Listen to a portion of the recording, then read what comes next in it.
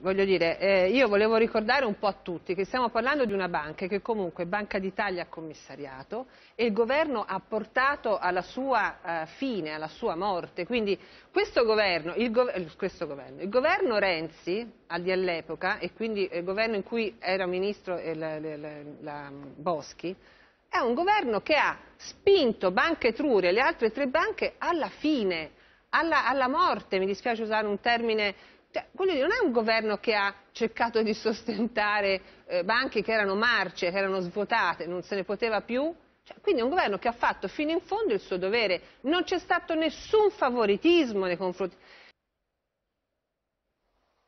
Questo non, non, te lo so dire, francamente vedremo gli effetti del caso Boschi nei prossimi giorni, perché quando ci sono di mezzo le parole banche e risparmiatori fregati, di solito poi l'opinione pubblica reagisce, ma, ma può anche darsi che non reagisca parte fregati da chi? giorni.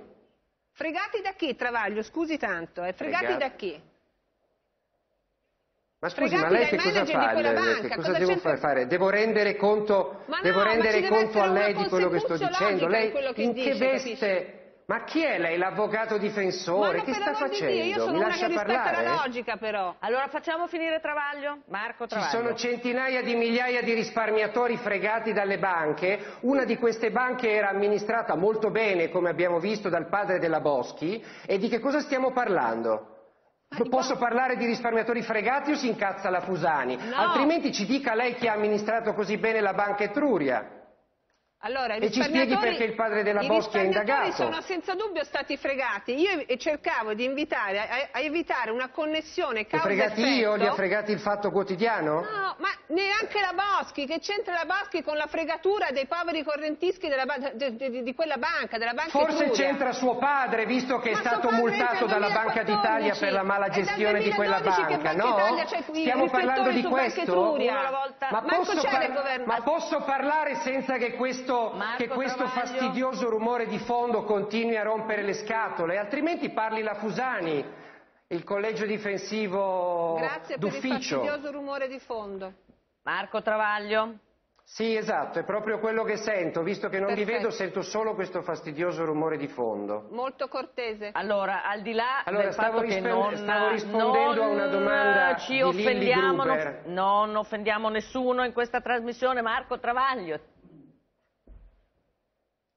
Stavo rispondendo a una domanda di Lilli Gruber, non ho la più pallida idea di, del perché dei sondaggi, vedremo come ricadrà nei sondaggi il caso Etruria, perché quando si parla di banche e di risparmiatori fregati sono temi abbastanza caldi e sensibili per una gran parte dell'opinione pubblica, scoprire che tra queste banche decotte ce n'era una che poteva godere dei favori del governo grazie alla presenza nel governo della figlia del vicepresidente di quella banca è sicuramente un elemento che scandalizzerà qualcuno dei risparmiatori fregati, i quali evidentemente dovranno sperare che la banca che li ha fregati abbia a sua volta un ministro di riferimento che possa sponsorizzare il loro istituto per il suo salvataggio.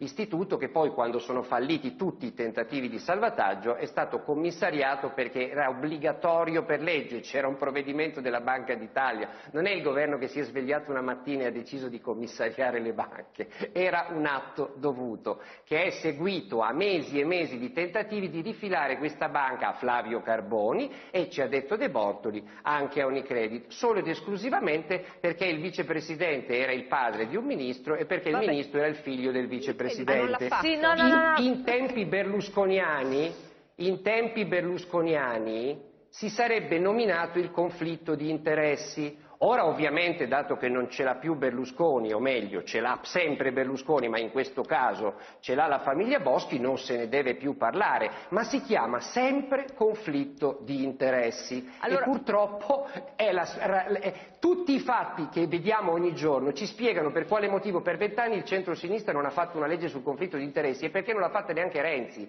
perché il suo governo e il suo entourage sono pieni di conflitti di interessi. Allora... esattamente, esattamente e centro-sinistra ha governato gli altri Marco, nove, guarda caso, e non hanno fatto assolutamente no,